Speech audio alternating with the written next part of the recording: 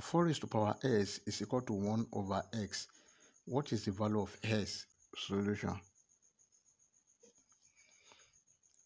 Here, let's take the power of both sides by 1 over s. That is 4 to the power of s all raised to power 1 over s is equal to 1 over s all raised to power 1 over x. Let's see.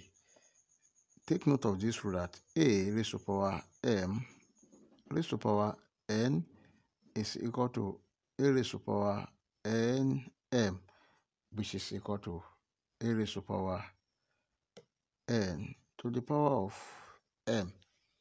Then here we have 4 raised to power 4 s times 1 x over x is equal to 1 over x all raised to power 1 over x. This one will cancel this. We have 2 raised to power 2 is equal to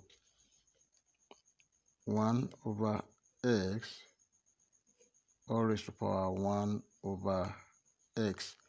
Then by comparing the exponent is equal to 2 and this one is equal to 2 therefore 1 over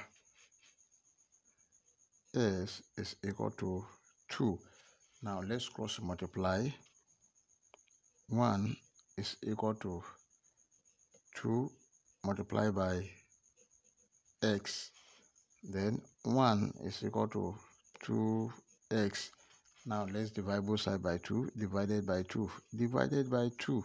This will cancel this. S is equal to 1 over 2.